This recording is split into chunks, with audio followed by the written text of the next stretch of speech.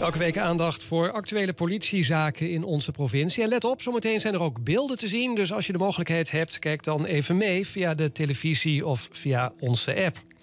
Vandaag komen we alles te weten over een beroving op een fietscourier. Maar eerst willen we van maar een wonder van de politie Midden-Nederland weten hoe het gaat met de zaak van vorige week. Toen uh, behandelden we een gewelddadige beroving in een woonwijk in Almere. Maar hebben jullie daar tips over uh, mogen krijgen? Nee, helaas. En daarom laten we de beelden van deze twee verdachten nog een keer zien. We zijn dus nog steeds op zoek naar deze mannen en naar tips. Het gaat hier om een beroving die plaatsvond in de nacht van 3 september rond de klok van 2. De mannen die je hier ziet, die beroofden een 26-jarige man op het gangbord en ze vluchtten daarna met z'n tweeën op één scooter richting de Kruidenwijk in Almere. Nou, heb je tips? Bel ons dan en help mee deze zaak op te lossen. Ja, dat was dus de uh, zaak van vorige week. Dan de zaak van deze week. Uh, maar een overval is dat op een uh, pizzacourier, hè? Ja, dat klopt. Op vrijdag 20 september rond 7 uur s avonds is er een 15-jarige pizzacourier op de Heins Rumanbrug in Almere door twee daders met een mes bedreigd en vervolgens van zijn geld beroofd. We zijn op zoek naar de daders van deze overval. Ja, het is dus in de filmwijk in Almere stad zien we op het kaartje op die 20 september. Wat is er precies gebeurd? Nou, 15-jarige fietscourier die is aan het werk op zijn elektrische fiets.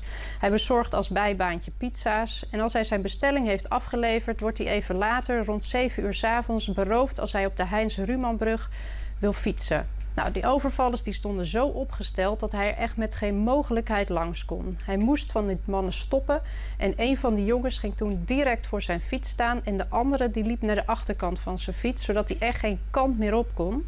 En daarna, da, daarna een van die daders de jonge fietscourier door een mes tegen zijn buik te houden en hij eist geld uit de tas.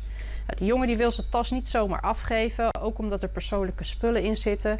En daarom besluit hij, wat we best gewaagd vinden, om zelf het geld uit de tas te halen en dat aan een van die daders te geven.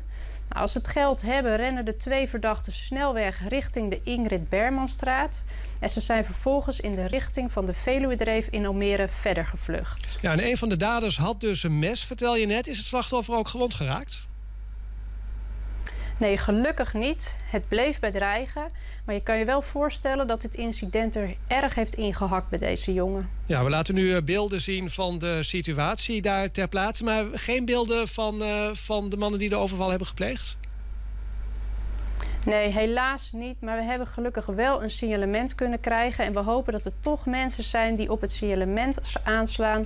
Of misschien gewoon weten wie deze laffe beroving op die 15-jarige jongen op zijn geweten hebben.